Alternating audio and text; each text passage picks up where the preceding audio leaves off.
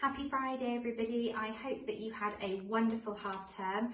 The children have come back and settled really well, and we've come off with a flying start here at the Grange Primary School. Today we had a two minute silence for remembrance, and the children have been making, doing lots of activities, making poppies and things.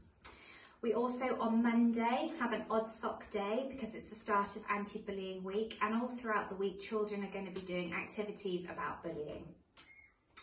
Um, on Friday, it's Children in Need. We're asking for donations of a pound for children to wear spotty and yellow things, but with uniform, please.